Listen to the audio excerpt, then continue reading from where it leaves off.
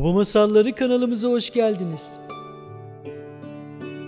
Bu videomda sizler için eğitici olduğunu düşündüğüm bir masal hazırladım.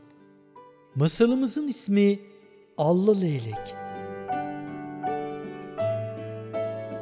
Masalımızı sonuna kadar dinlemeyi, beğenmeyi ve paylaşmayı unutmayın olur mu?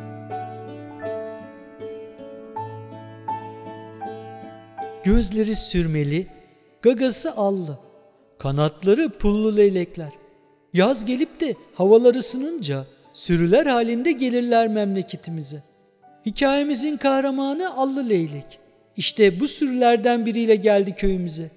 Allı Leylek'in yaşadığı uzak ülkelerde havalar soğuyunca göç zamanı geldi demektir. Lider Leylek sürüleri toplar, hazırlıklar yapar ve yolculuğa başlar. Uçarak karları, dağları aşarlar. Mavi denizleri geçerler. Arada bir durup dinlenirler. Günler sonra güzel bir diyara gelirler.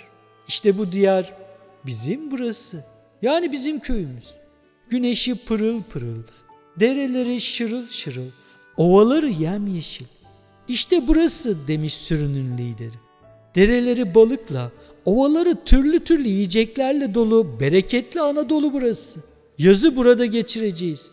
Küçük bir köyün yakınına, içinden kıvrım kıvrım derelerin aktığı, tarlaların ve meyve bahçelerinin hemen yanı başına inmişler.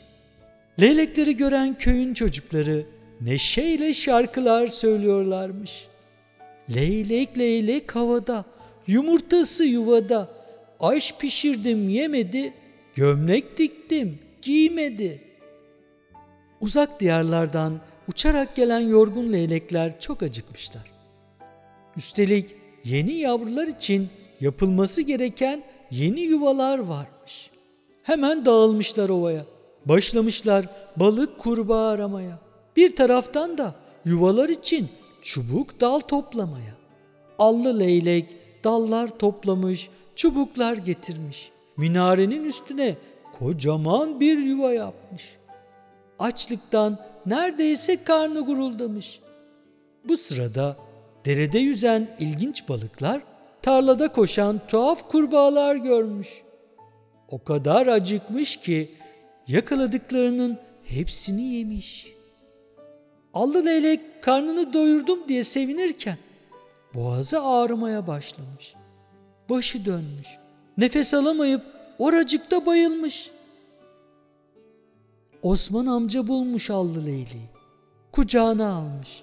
Koşarak veterinere getirmiş. Veteriner leyleğe baktığında ilk önce boğazındaki yumru dikkatini çekmiş. Bu her neyse leyleğin nefes almasını engelliyor ve onun hayatını tehlikeye atıyormuş. Veteriner hızlı hareket etmiş. Bir takım aletler kullanarak leyleğin boğazındakileri çıkartmış. Allı leylek gözlerini açmış ve nefes almaya başlamış. Meğerse allı leyleğin yuttuğu o tuhaf balıklar, ilginç kurbağalar, derede yüzen plastik atıklar ve rüzgarlarla savrulan naylon poşetlermiş. Allı leylek Osman amca sayesinde kurtulmuş. Peki ya diğer leylekler? Sevgili dostlar, unutmayın. Bu dünya, yaşadığımız yer bizim. Biz yaşayacağız. Bizlerden sonra bizim çocuklarımız ve onlardan sonra onların çocukları yaşayacak. Yaşadığımız, bulunduğumuz yeri temiz tutmalıyız.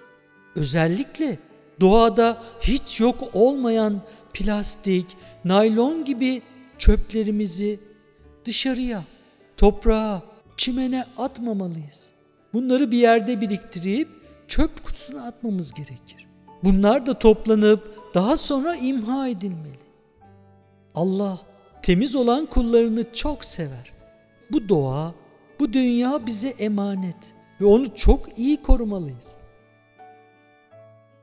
Bir masalımızın daha sonuna geldik. Masallarımızı kısa hikayeler.net web sitemizden okuyabilirsiniz. Bir başka masalda tekrar görüşmek üzere. Şimdilik hoşça kalın.